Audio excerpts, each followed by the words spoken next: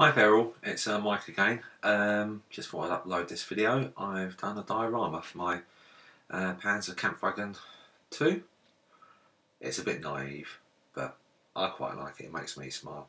And it sets the tank and the figures off quite nicely. Um, so hopefully you like it. See you later.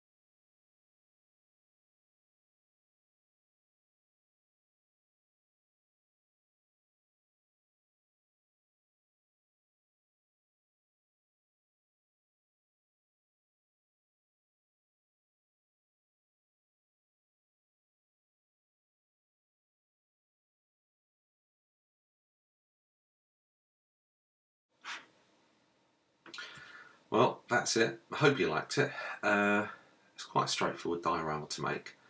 Um, MDF base, um, tile adhesive, sorry, tile grout to make the base, scrape it around to um, create a bit of interest, and then lots of sand, stones, and gravel from the garden. And then once that was dry, sealing it with white glue, diluted white glue, um, and then touching it up with um, various shades of brown and sand colour. And then liberal amounts of super glue to put the figures down.